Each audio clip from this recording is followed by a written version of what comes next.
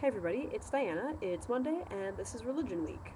So I'm just going to dive right in and start talking about religion. And hopefully this week we're going to have a super awesome discussion, and we can learn a lot about new religions and get some ideas going. So I was actually raised Catholic.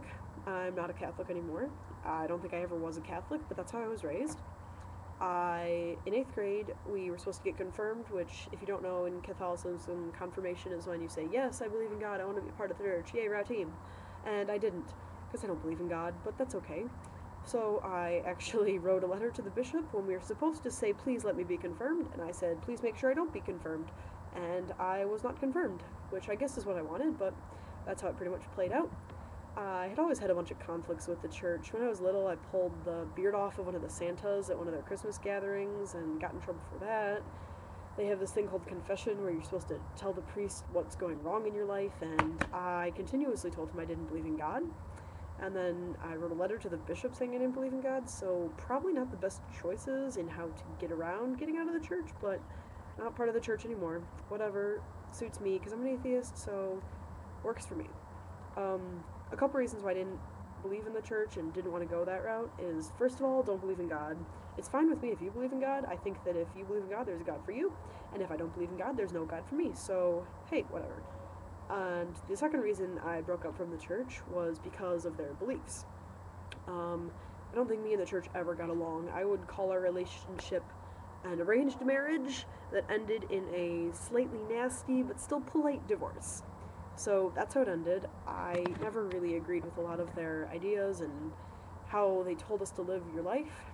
So the Catholic Church has very outspoken tendencies. It, it finds it very easy to tell people how to live and doesn't have very many problems being very conservative in that respect.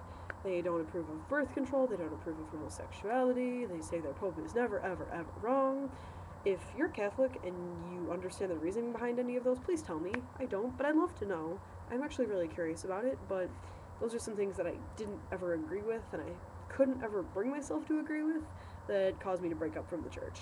So that's my deal with that. Also, the church seemed kind of hypocritical in the whole fanciness and formality of it all.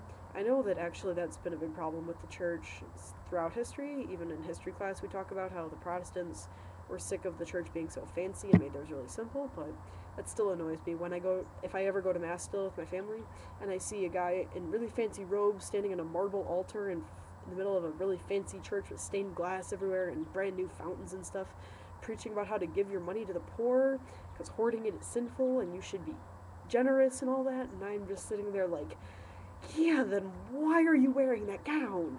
Because it's really fancy.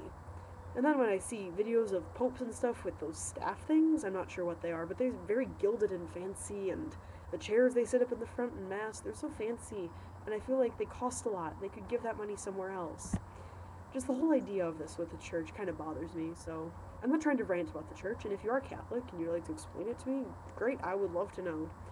Um, I have some questions for everybody else about their religion also. First of all, how does prayer work? I really honestly would love to understand this. Do you get an answer? Do you feel an answer? Does, do you actually say it out loud? Do you not? How does how does it help you? I don't understand.